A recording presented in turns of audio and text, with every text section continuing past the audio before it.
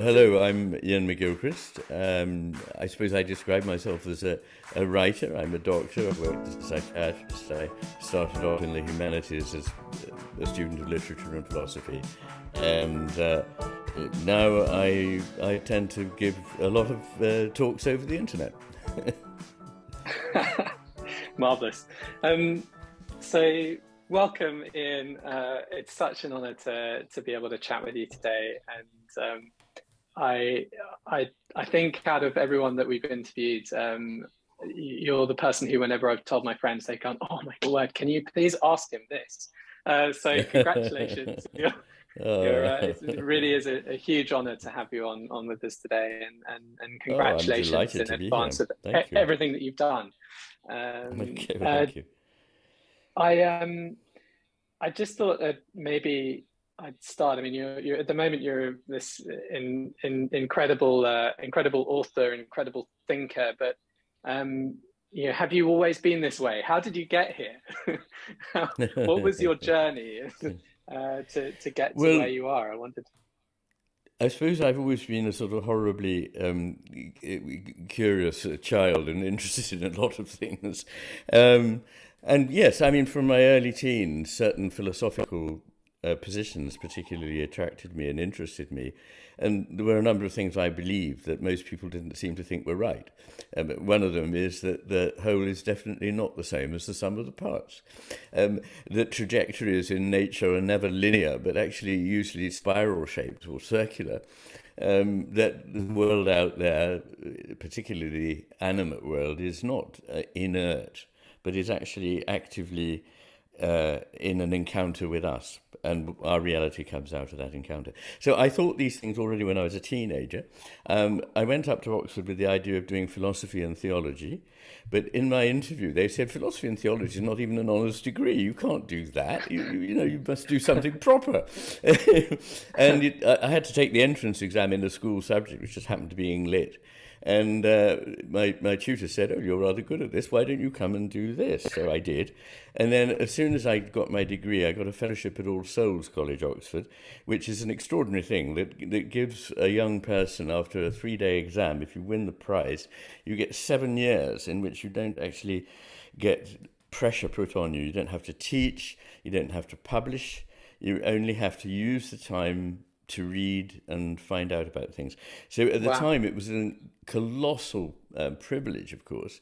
And I didn't completely uh, realize, uh, it was only in hindsight that I've realized what a, what a gift that was. And for a long time, I thought I'd wasted it. But actually, what happened was I, I, got interested in the mind body problem for reasons I, I could go into. It was really my dissatisfactions with how we work, approach works of art, we turn them into general abstract ideas. Uh, instead, they are unique embodied beings that we encounter. And we make the implicit explicit and therefore destroy their power. So I got interested in the mind body problem. And that led me to um, many seminar rooms with philosophers. But I thought the philosophers were just all too um, disembodied in their approach to this question. I wanted to do it in a more embodied way. And the answer to that was go off and be a doctor and specialize in the overlap between the brain and the mind, neurology and psychiatry. Wow. So that's what I that's what I did. Um, cutting a very long story short, and and yeah. then I, I started started getting interested in the difference between the hemispheres, a, a, a, toxic topic that I was advised not to touch with a barge pole because it was all pop science and had been exploded long ago. But I thought, actually, no, the more I learned about it, the more I realized that it was something incredibly important there of a philosophical kind. So we may come on to talking about what those, um, what, what I mean by that. 100%. I mean, I, I just want to go back to a couple of things you said there. One I thought was very interesting that you know you got got given seven years just to read and it's interesting mm. whenever you talk to people who, who are doing remarkable things like yourself there often seems a really long period of reflection where you're given time to read and to think and i don't yes. think you get that very much in the modern day workplace um, you I, don't I, and I mean, go go for it. Oh no, no, what, I, I no, don't what, have an what, answer. no, what I was going to say is that I'm not even sure that I don't know that I'm right about this, but I suspect that even the peace that I had then may not exist now because the temptation always is to to fuss, to manage, to monitor. How's he doing? Is he really on course? Um, has he published anything yet? No, five years have gone by. And, and actually, if I had been forced to write three papers a year, I'd have crystallized my thinking very early and it would have become very narrow. But because people trusted, I mean, after you're elected, they sort of think, well, this is an interesting person, we'll just let them get on with it. And I think we ought to have much more of that in life in general. Stop breathing down the necks of creative people. And it's quite true that sometimes they won't uh, produce very much.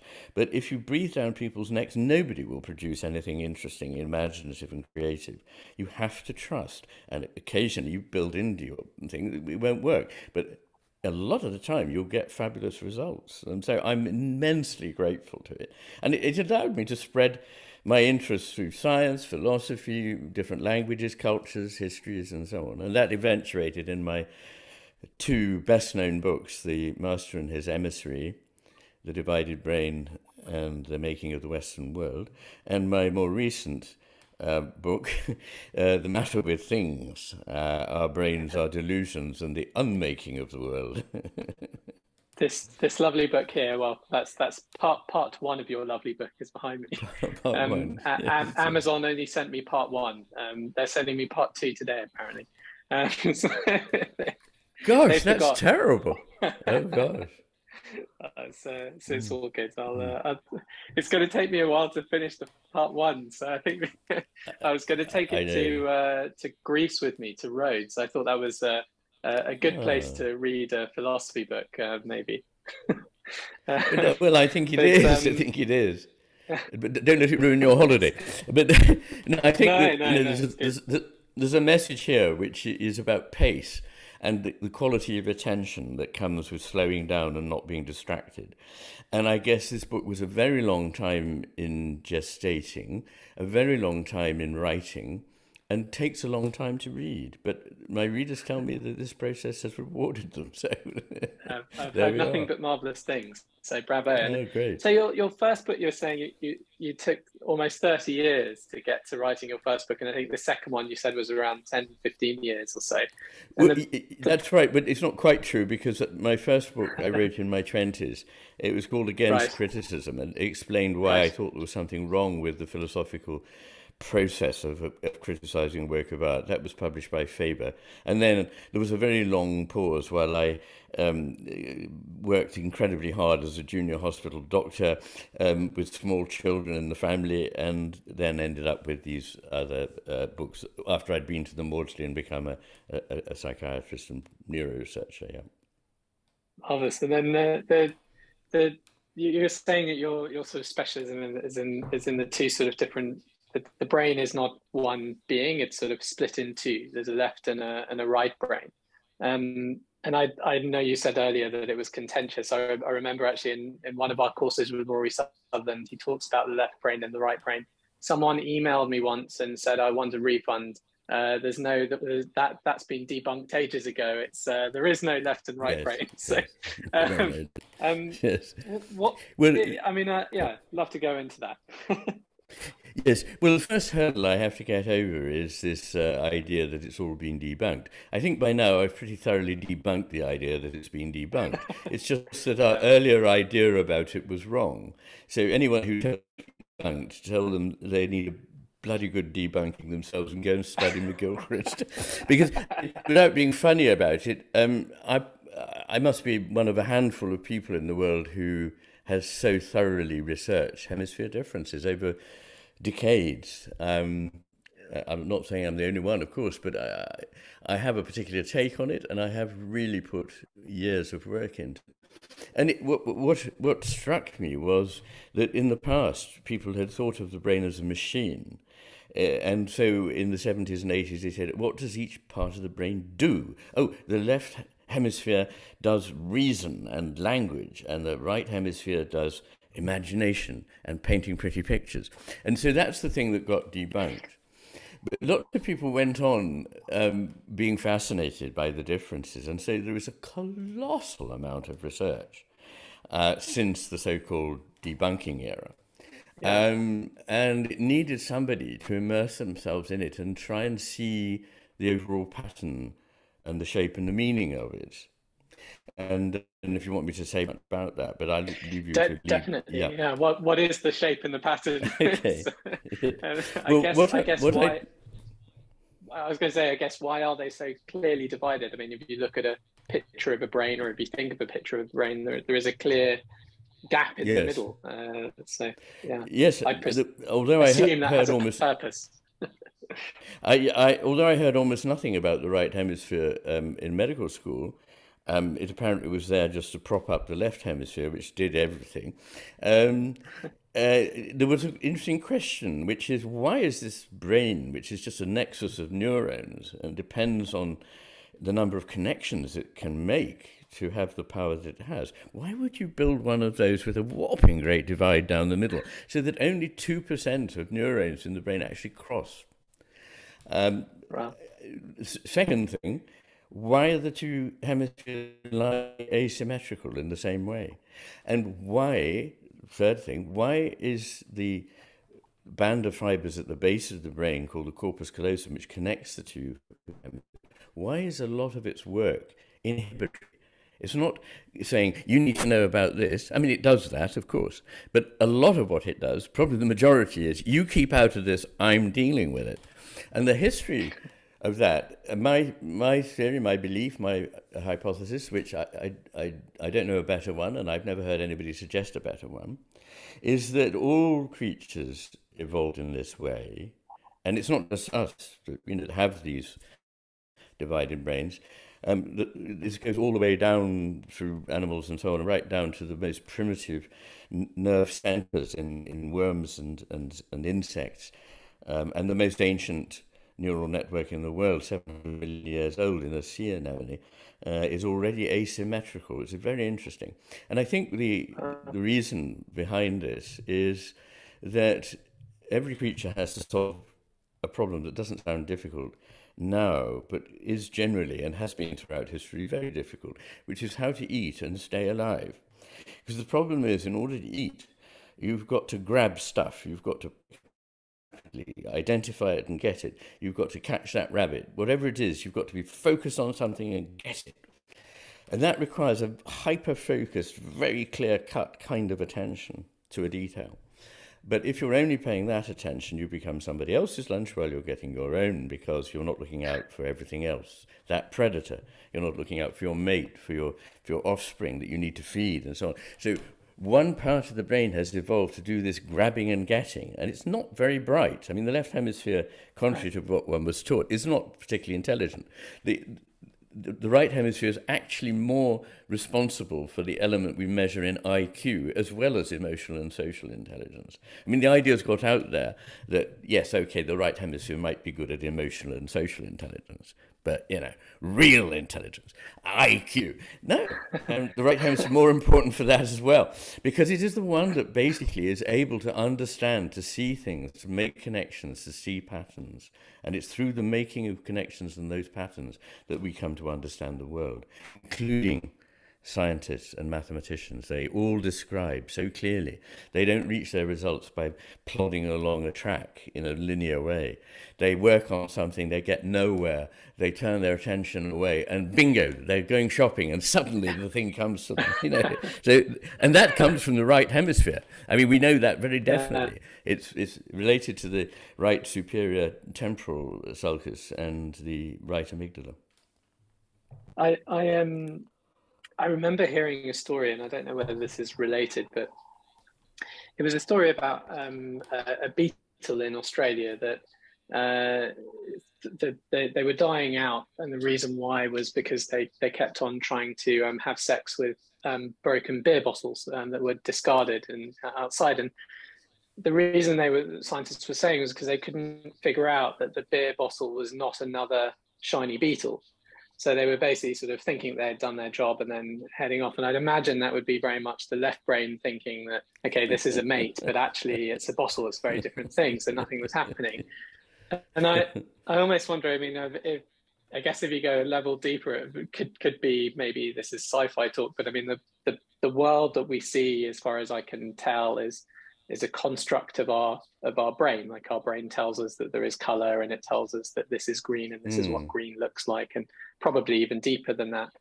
And so I wonder whether you know there's there's there's obviously a whole raft of things in around us that surround us that we can't see like we can't see radio waves if you wanted to take a basic mm. example unless we have a scanner um, and i'm yeah. sure there are other things that we don't even have machines that can measure but are there and maybe those are things that we have feelings of for course. i don't know uh, and we can't it's, it's hear sounds that, that bats and bears can hear for example we, we right. can't hear them at all right. So we might think they weren't yes. there but they are so you're absolutely wonder, right yeah, this this sort of, if I remember rightly, so it's the left left brain is very focused and very very rigid, and it's yes. it's it's it's that's it's well yeah is it is, is it a, yes. is there a creative or a non-creative part i mean or are they both kind of creative um, I mean, well that makes it, any it's sense it's embarrassing um, to have to say this um, i would love it not to be true but after researching it in great depth i can say that unfortunately this piece of pop lore happens to be correct. The right hemisphere is much more important in contributing to creativity. Um, right.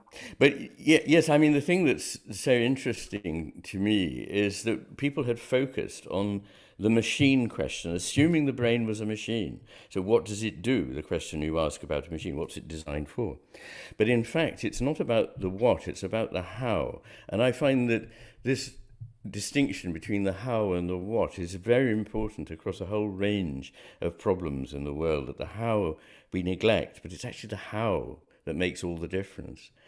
Um, and so you're right that, in a sense, what we see, you said, I think, make it up. Uh, what I want to do, and I know you're talking shorthand, but nonetheless, there are important philosophical points here.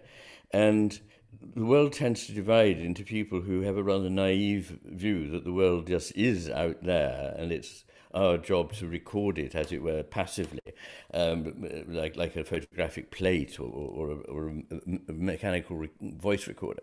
But in fact, um, it's not that, and it's not the other um, uh, extreme position, which is a kind of postmodern position, that effectively there is no reality because we just make it all up in our heads.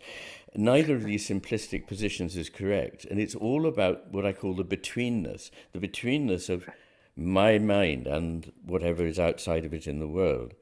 And so, what I say is, experience is an encounter, and it's the quality of the ca- encounter brings something of me to it, of course, and that that goes with the idea that each person sees things slightly differently, although the differences can be exaggerated. On the whole, when we meet people, we can have a common conversation about what we find in yeah. the world.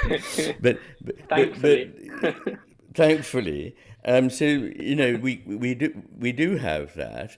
Um, but it also there's something out there that we really do make contact with. I'm very very keen to make that point that you know it's not a waste of time our perceiving we're not duped by it um, but you see the difference between the hemispheres one of the many is that the left hemisphere starts with a, its own purpose to get grab and get and it only sees little bits of things. So it, it has a design in its mind in a very abstract way but the right hemisphere sees the complexity of the world, the fact that things are interconnected, not atomistic as they seem to the left hemisphere, that they're always moving, flowing, and changing, not rigid and separate like slices as they are in the left hemisphere, that they're animate, that they contain implicit meaning, not as the right, left hemisphere only understands explicit meaning and so forth. So the left hemisphere can't understand jokes, takes them seriously, can't understand poems. So what does this mean? Um, whereas the right hemisphere is picking up all of this richness and the difference in the end is that you've got one very big, broad, rich, dynamic, animate picture of the world, that of the right hemisphere, and you've got a schema a map, a theory about how the world should be according to what's going on in the left hemisphere. And, and that's a very important contrast in the modern world. I, I, you know, I argue in both these books that we are moving further and further into a left hemisphere dominated world. But it's now become extraordinary how much people believe their theory about what things should be like over the manifest testimony of experience. It's, it's, I wonder whether part of that, the, the sort of left bias is is could that partly be because we spend a lot of time in front of computers and screens, which kind of train us to you know there's there'll literally be a thing which says click here, do this, do that. I know we're from a marketing, my background's in marketing and advertising. Whenever we were doing stuff online, our advice would always be you know, to tell the brand to have a clear call to action because people are much more likely to do as you say when they're looking at things on a computer screen. So I wonder whether mm. the sort of brain is kind of almost I merging that, with a machine in some sort of way. Well, I think it is, but I think one can only blame what you're describing uh, too much time spent on the the two dimensional screen. Um, that's an element, but I think the roots of this go back much further, go back probably a couple of hundred years.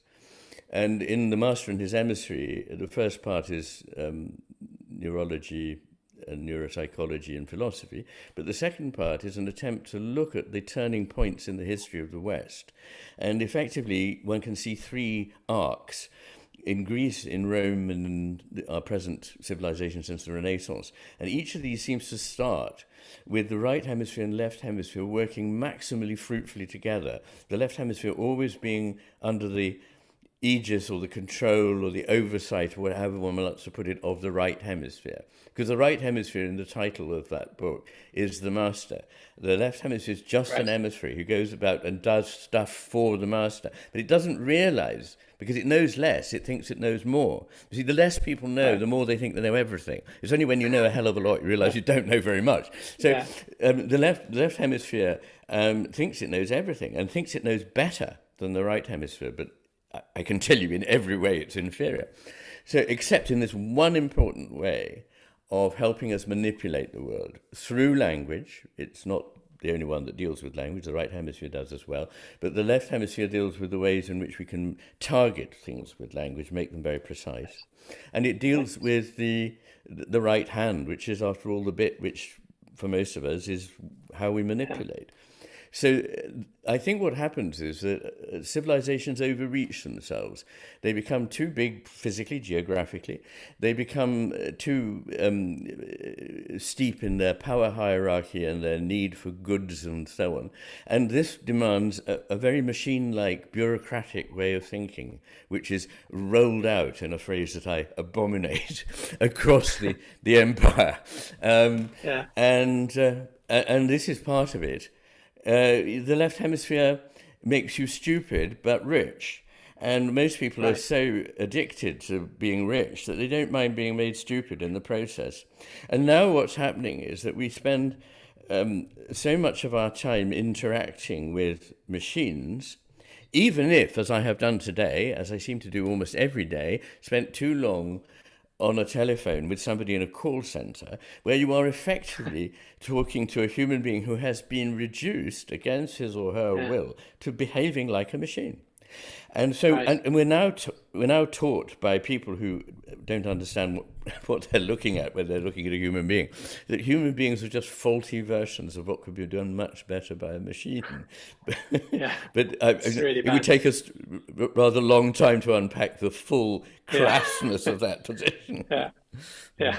That is uh, in my books. I, I, Anybody who's well, listening who wants to find out more, they're in my. It's all in my books. Yeah, uh, and the books are fantastic and available anywhere. So uh, good, good and even if you, even if you're not a big reader, um, your latest book is great for weight training as well. Uh, so if you want to, uh, just uh, as another use, um, it's it's very marvelous. Um, you, you, I guess. Um, it was interesting what you said. I love the way that you. you I, I, remember Rory Sutherland telling me about that. That um, you know when they've done experiments and and you look at someone who knows a topic really really well and you ask them how sure they are about an answer to something, they'll say, "Oh, I'm not 100% sure." But if if you ask someone who just knows a little bit about the subject, they're like, "Yes, I'm 100% sure. This is definitely right." Yeah, and I, exactly. I, I mean, I wonder if that if that related at all to sort of, I guess Rory would often say that most of what we do is unconscious. We don't realize that we're doing it. Oh, if we had to focus on breathing, if we had to focus on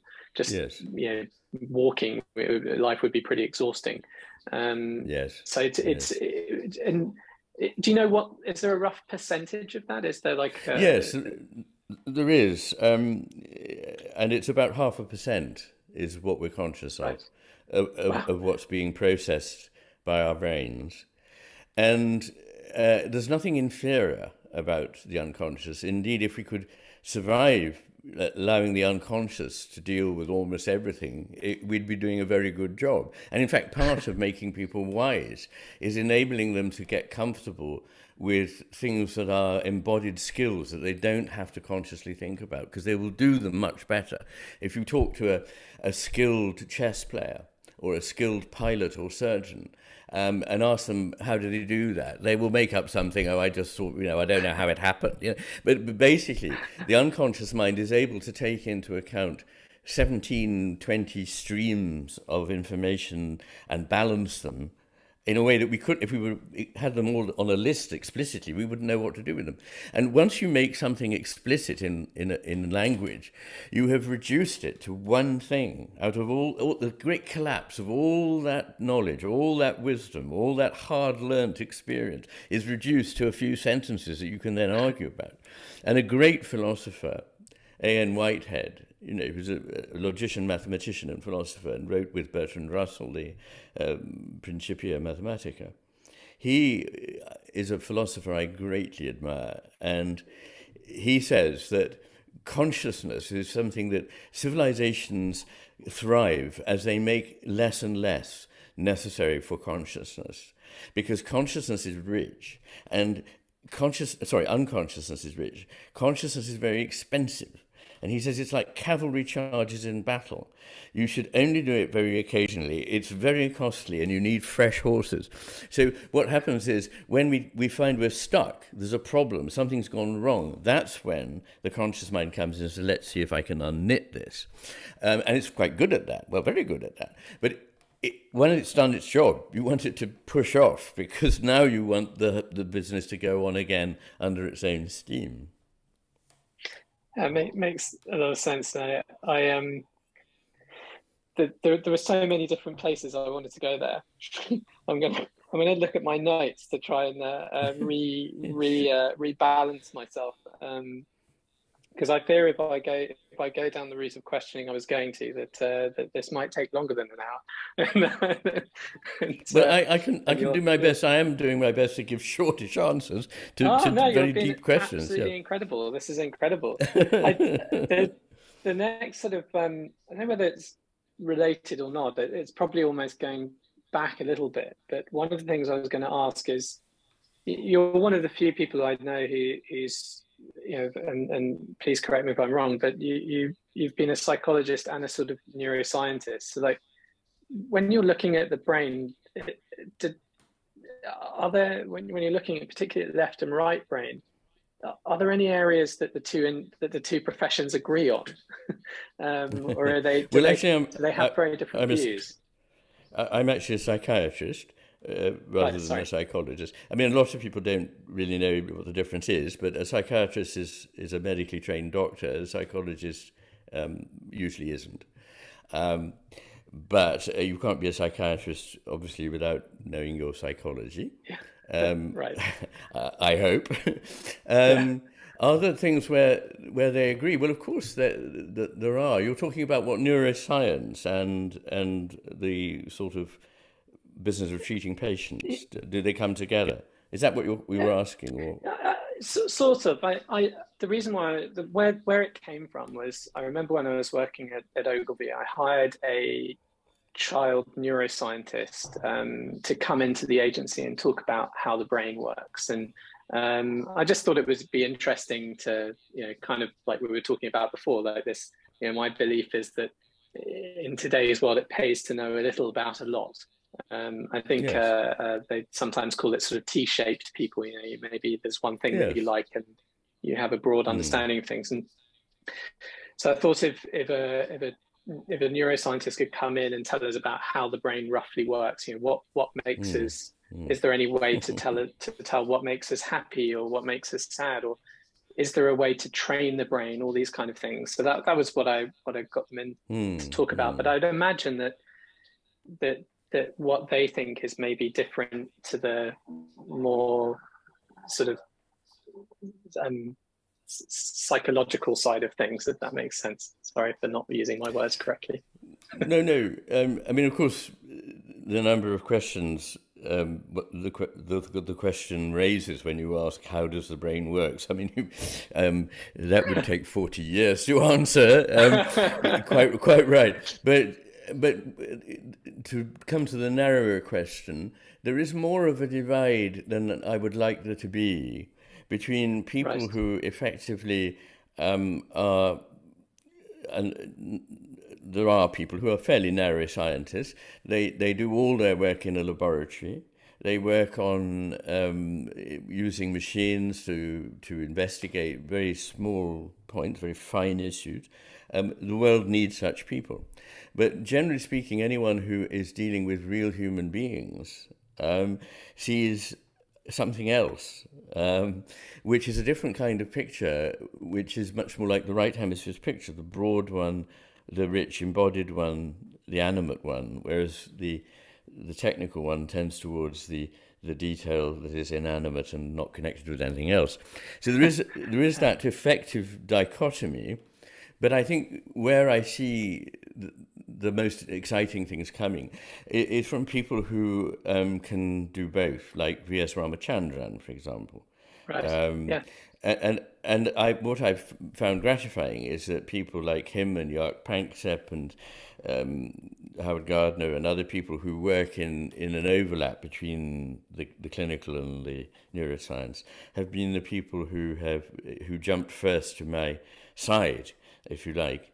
Um, and I find that the most uphill battle is with people who have looked at one tiny thing for a very long time. Right. I can't see why I need to connect this with people's lives. I mean, why would you do that? I mean, actually, on the on the, the film The Divided Brain, which um, quite quite quite quite good in places. Um, there's a conversation with Mike Gazzaniga, who's a, who's a very distinguished neuropsychologist, and I don't um, other than respect him. But he did say a very interesting thing, which I thought was rather revealing. He said, Well, McGilchrist takes these sets of findings, as it were, in neuroscience, and then applies them to the lives of real people. I'm not comfortable with that. well, that, that's rather an extraordinary thing to say. Um, but it's all, all in keeping with the way things have gone. Um, in fact, when I got to the Maudsley, because you know, I'd had this fellowship at All Souls, which was a very rarefied academic thing, and I've always been uh, a, a, very academic um, creature. And when I got to the Maudsley Hospital, which is, I mean, it likes to think it is, and I, I, I wouldn't demur, um, the, the, the, the, most distinguished training centre for psychiatrists in, in the country, uh, it was attached to the Institute of Psychiatry, and I went there and because I wanted to do some research, and somebody said, "Oh yes, please come and talk to me about what research you'd like to do." And I said to this um, lovely person and uh, distinguished person, um, uh, "I want to investigate how ch- children develop." the concept of time, which I still consider an absolutely fantastic question. Wow. um, yeah. And she looked she looked at me and her eyes sort of glazed over and she said, um, Come and clone the P450 receptor. I said, I don't want to clone the P450 receptor. But this is what happens, is that people build empires on expensive machines that do detailed things. And they, they're really not got no room for somebody who is interested in the philosophical implications of all this. So I realized um, that what I um, had to do was to do it myself, basically, you know, to go off, make my own life, um, pay for it by seeing patients, which I fortunately absolutely love and find fascinating, and then uh, use the, the, the, my, be in charge of my own time so that I could spend a lot of time researching, reading, and, and so on. When you're um, helping people, do you find there's a, my understanding of, of, the brain is that it's elastic and that like if you don't exercise it much like a muscle there are parts of it that can sort of atrophy um, or, or, or, at least shrink. Um, when you're working with patients if you wanted to if you i don't know i don't know whether this is ever would ever be a real thing but if you, if you met someone who was sort of almost sort of too stuck in the logic would would you ever give them exercises to try and work out their creative brain a little bit. So sort of almost doing exercises that for your brain, if that makes sense. Yes, yes. Um, Well, or, first or of vice all, versa. Uh, yeah, no, no, quite. Um, first of all, it's a, it's an interesting observation that uh, domesticated animals have smaller brains than their wild counterparts, and we have smaller yeah. brains than the Neanderthals had. Um, so it, that bears a little bit of reflection. But yes, I think um, tendencies are, are reinforced. Uh, n- not so much that there are material changes in the brain. I mean, there are, but that's not really the highly significant thing. It's that we neglect whole areas uh, that are open to our intellect and our imagination. And, and we don't see them. I mean, people I, I find this a difficult one to focus on, but I say it's a bit like a radio set. Um, it, it, may be that um, after you get a new radio and you're excited, you listen to a couple of favorite channels, and after a while you only tune into one channel. The radio set is still capable of bringing in any channel you want. It's just that you're asking it only to do one channel. Now, that is really the situation, in a way, that we find ourselves in. And to come to your question of what can we give them exercises, I think the answer is no, not in that sense, but yes, in another way. Um, and this is best explained by my saying, if I give you six things to do every day before breakfast that you know will change your life, they won't really because you'll still be thinking of everything, including these exercises, in our normal reductionist utilitarian way well, this is something good for me. It'll make me make more money. Very good. So, but that's what, actually what we're talking about. What we're talking about is a whole different way of thinking. And Einstein said this brilliant thing: we can't get out of the hole we're in with the same thinking that got us into it in the first place. So what one has to do is to change the whole way we think. And if you do that, the rest will follow. Now, there are practical things I can say, like mindfulness is very helpful. It is. I think it helps nourish the way of thinking of the right hemisphere, which is not jumping in and chattering about things all the time, but being sustainedly attentive, vigilant, and aware, listening to the world and what it's saying, as it were, being actively receptive, not in a passive way like a sound recorder, but actually meeting the world being very present, very alert, very conscious, but not filling the space with your talk. That is important. I think all children should be taught that. And I think there are things to say about the way um, education has become technical instruction these days, even in what used to be called the humanities. Uh, the ingestion of regurgitation of information seems to have taken over from using your mind and being trained how to use your brain. But anyway, um, it, the, the, the thing I'd like to say here is a lot of people have written to me saying things like this. I realize after reading your book, uh, and it's usually um, uh, they're meaning the master and his emissary because this has been going on now for 10 years. People have been writing to me.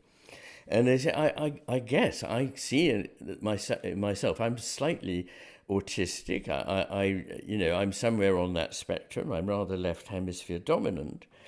Uh, but you have helped me see that and helped me see what it is I'm missing and have helped me begin to change. And so they say rather moving things like, my marriage has improved my job is going better. I'm happier. I, I you know, and, and so this is very rewarding because, of course, one of the things that part of my reason for wanting to study medicine was academic and intellectual about the philosophical questions I described, how the mind and body relate. But part of it was to be helpful. My father was a doctor. His father was a doctor. They weren't great thinkers or anything, but they were in part of that I, I, grew up with this rather wonderful idea of being somebody who could help people. And um, I, I, felt that very strongly when I was in clinical practice because uh, people kept saying it. I thought, what, what would it feel like when you're not practicing? So, because the last 11, 12 years, I've not been in clinical practice. I'm living on an island, you know, in, in Scotland, um, thinking, writing, talking. But I realized that actually I was helping people, just in a different mm-hmm. way. This almost reminds me a bit of sort of Douglas Adams, where it's kind of the question is more important than the answers often. Mm. Um, yeah, maybe the kind of mm.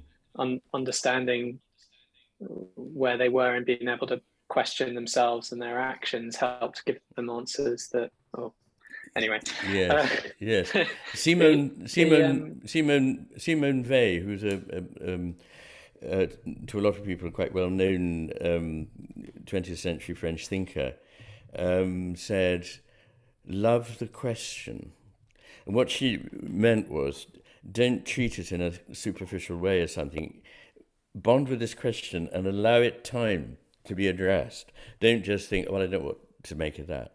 So I think that that is part of yeah. what you were saying. You hang on to the question, yeah. and often not having an answer is yeah. fine. I'm quite worried by some people because they think they've got an answer. Yeah, uh, it's, it's, lovely. I, I, wish more learning was like that. Uh, we're, we're working on it. Um, um, I know in part two of your book, um, you mentioned that there were sort of four main paths. Um, I think you described them as you described them as science, yes. reason, intuition, and imagination. And yes. I guess for these, the kind of it, I was trying to understand more about it. Are these the the mm. three? Are these the four things that that sort of are these four sort of parts of the brain that you can work on, or or, or that everyone has a different mix of, or yeah. Sorry. I could. I think you could. You could see it like that, I suppose. But in fact, um, one of my general beliefs is that parts don't exist. They're an invention of our way of looking at things. Things are whole, and after right. our left hemisphere has got hold of them and started analysing, it produces parts. But let's be clear, they're an oh, artifact oh, was... of the mode of attention. So when you say, are they in parts of the brain? They're not even pa- wholly dis- with a T. Oh, parts, parts, with a th. Yes. well, they yeah. they are the they I what I consider to be the most likely candidates that most people would come up with. I mean, they almost everybody, if you ask them, yeah. so how do we actually get to know anything about the world? I mean, very few people would not mention science or reason. Yeah. Um, yeah. And, and because um, intuitions had rather a bad rap lately, um, it's not appreciated, although, frankly, it's outstandingly important. And when we lose it, we become the kind of clever idiots that I think we now are. Um, and imagination is also not, um, uh, you know, uh, a way of taking one away from reality and having a bit of a relaxed uh, imagination is a very serious matter, which is actually the only way in which one feels one's way into what it is one's looking at. So imagination is a very deep thing, and without it, you can't. No imagination, no maths. No imagination, no scientific discoveries. Not only no Tintoretto, no whatever, no, no Bach, but actually nothing of this works. And people who have very little imagination are very, very difficult to be around or to attempt to live with. Can one train them? Well, I suppose yes, of course you can. I mean, and we tend to be trained in science more than anything, I suppose, these days. Um, most people get at least a basics of science. But what they see is something very boring, which is entirely procedural, um, rather redundant, in which one's endlessly proving the blindingly obvious. And uh, you know, uh, uh, when I when I did this at school, I thought, oh God, I wanted to be a scientist. I don't want to be one now. But if instead they talked to me about um, you know black holes and and dark energy and things like that, I, I'd have thought. Ah, now here's something that's really interesting and important. Anyway, so we do need all of these faculties, and we're not, we're actively discouraged from using our intuitions and our imagination because everything has to be monitored, everything has to be micromanaged. We, we live in the worst possible world in which the, the mindset of micromanagement, which is toxic in business, is now applied to everything, to academe, to medicine, to whatever.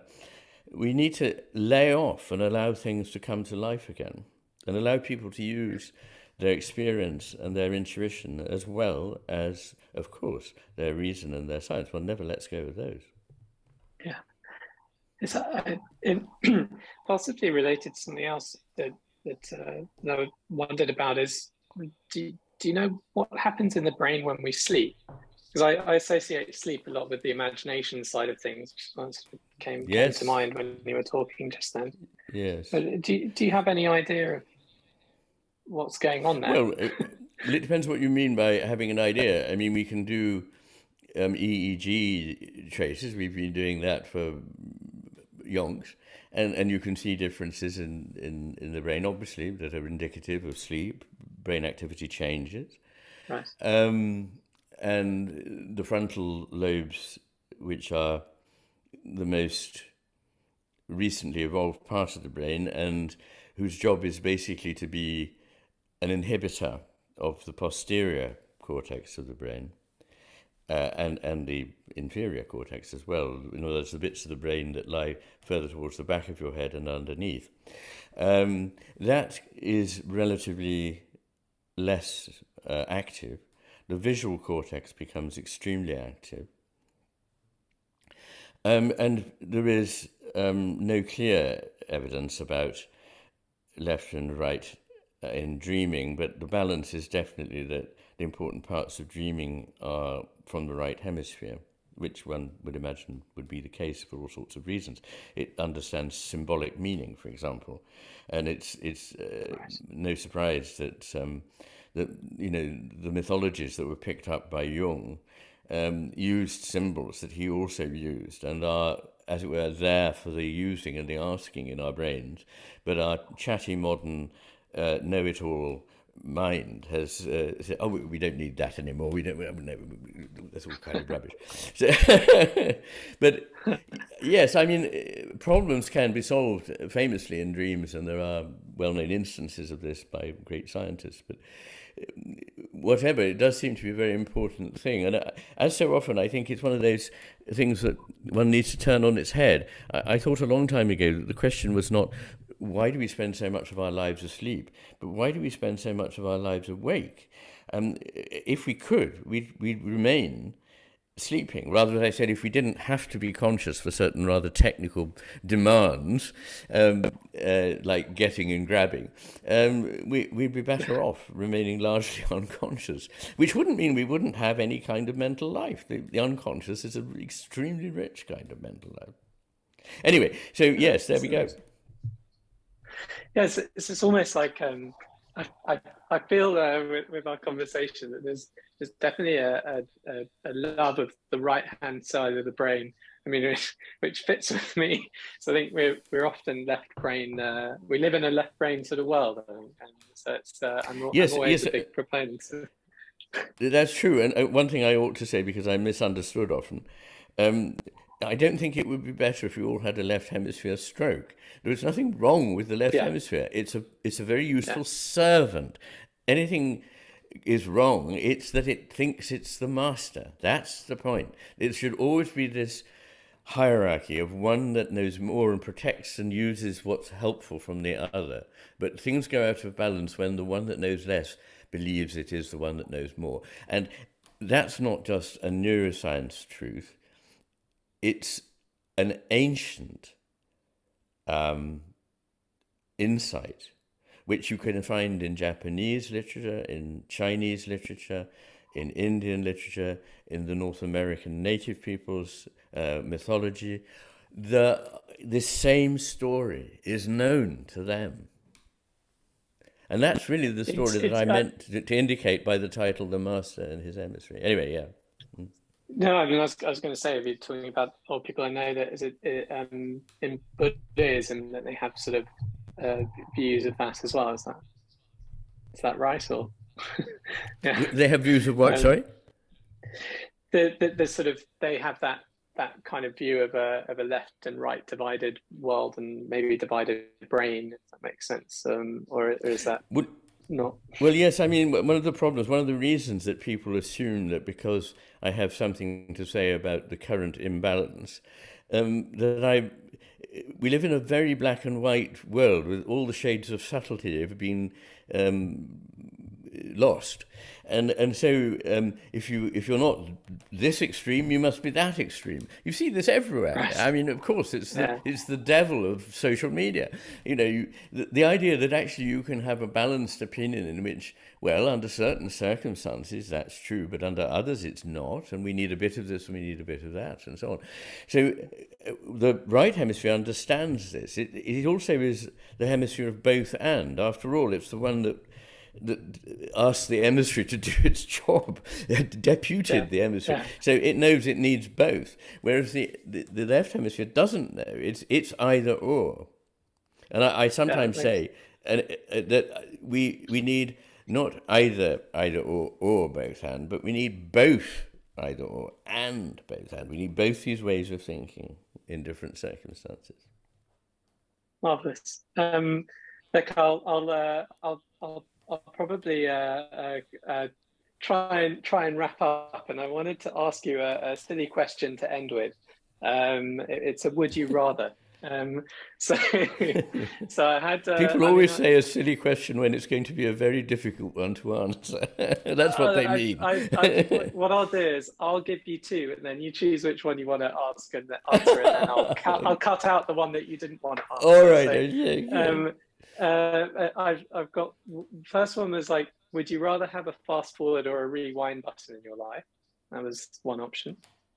And the, the second one I was going to give is, would you rather be able to talk with animals or speak all foreign languages? Uh, oh, it's interesting questions. Um, I think the first, sorry, I shouldn't say that, should I? I think the question about the fast forward button or the or the rewind button. I suppose it depends whether you had any. You were granted in this improbable set of circumstances. You were granted the ability to to to to, to change something.